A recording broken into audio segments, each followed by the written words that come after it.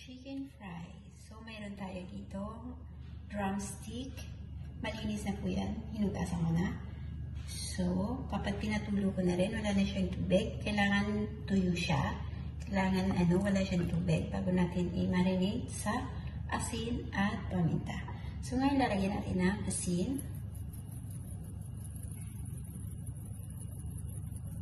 Then, haluin natin. Malinis yung aming kamay, guys. Nagbukas na ako.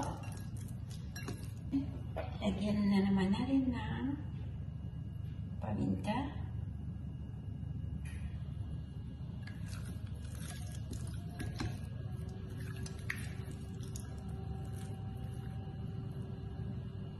Siguraduhin natin guys na nakalag nalagyan siya lahat ng paminta para mas malasa.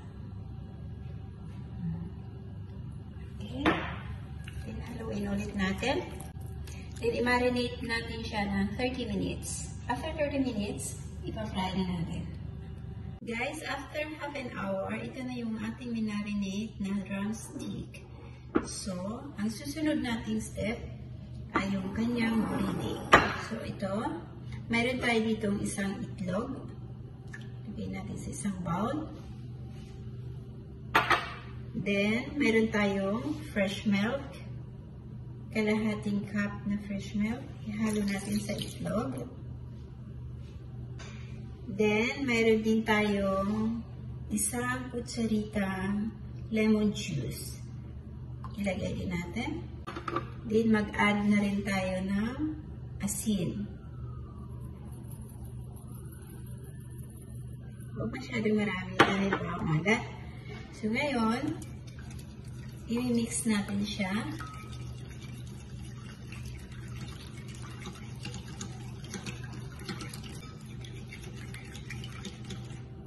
Na-mix na natin siya, guys. Okay, na-mix na natin yan. Isit aside natin. Then, habang sinisit aside natin yan, magpipreheat tayo ng oil. Guys, pag naglagay, nagprito tayo ng chi uh, fried chicken, kailangan dip. Nakadip yung chicken natin, ha? So, marami yung mantika. Guys, mayroon tayo dito harina, flour. 1 cup. Ilagay natin sa isang bowl. And then, mayroon din tayo dito half cup uh, cornstarch. Pwede natin yan.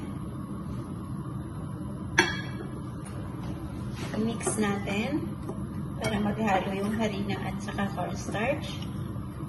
Ganyan. So, ngayon, nahalo na natin.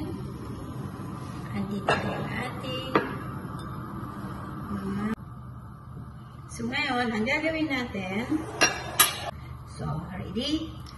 Kuha tayo ng isang manok, ilublob natin dito,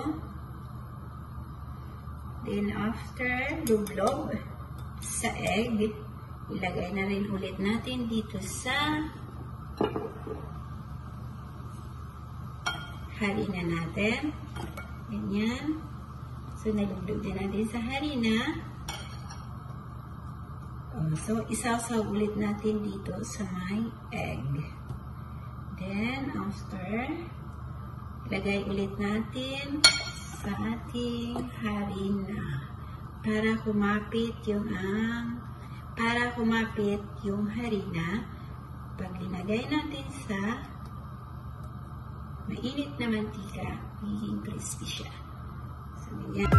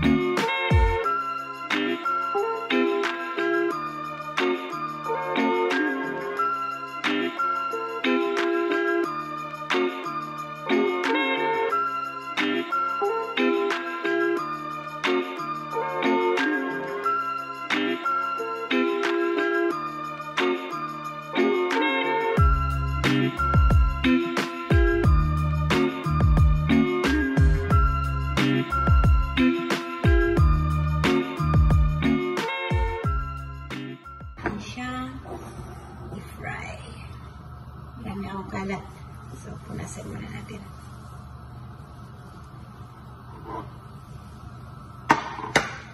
So, mainit na.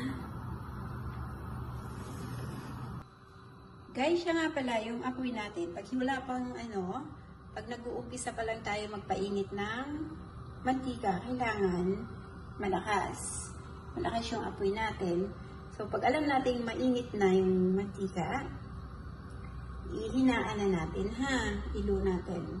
Para hindi masunog agad yung yung manok sa labas, tapos yung sa loob ay hilaw. So ngayon, ilulo na natin dahil ilalagay na natin yung ating chicken. Huwag natin kakalimutan yung apoy guys. Dahil mabilis, pag mainit na mainit yan, nasubrahan sa init, yung labas ay masusunog. Tapos yung loob ay hindi naluluto. So ngayon, mag-umpisa na tayo. Lagay yung ating chicken.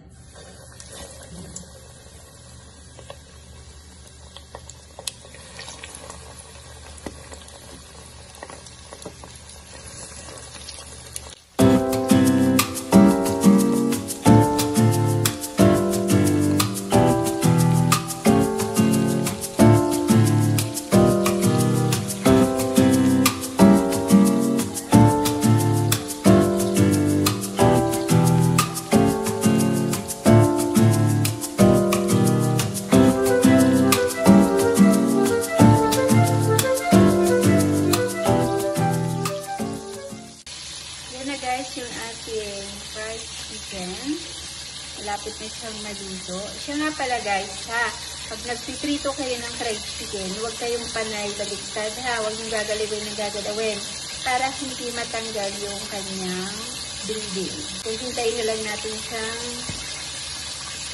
mag-brown at mag-crispy at alam natin na yung sa loob.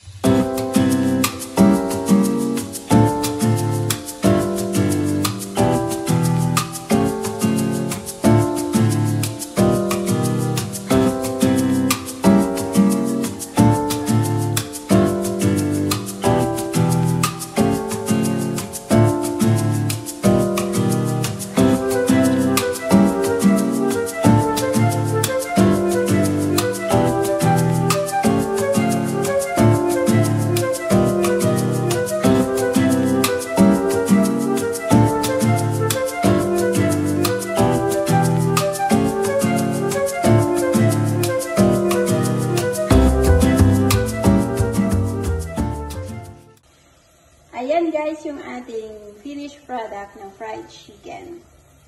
Ayan. Ready to serve na. Okay guys, dito nagtatapos ang ating video na to. Thank you so much for watching. Hanggang sa muli. Bye-bye!